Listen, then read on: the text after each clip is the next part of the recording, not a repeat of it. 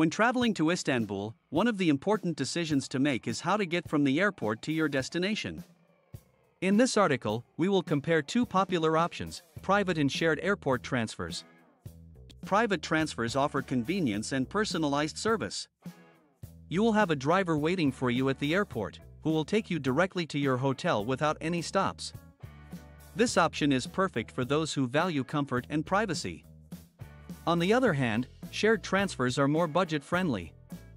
You will share the vehicle with other passengers, which may lead to multiple stops before reaching your destination.